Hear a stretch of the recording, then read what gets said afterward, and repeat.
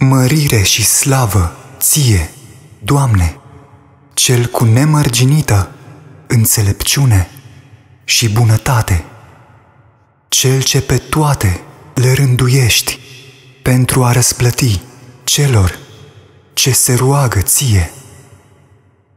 Ține-mă, Doamne, cu minte luminată, ca să pot înțelege învățăturile tale. Ține-mă cu tărie și cu sănătate, ca să pot să urmez poruncilor tale. Și ține-mă cu inimă nepărtinitoare, ca să pot să mă bucur de minunile tale. Amin.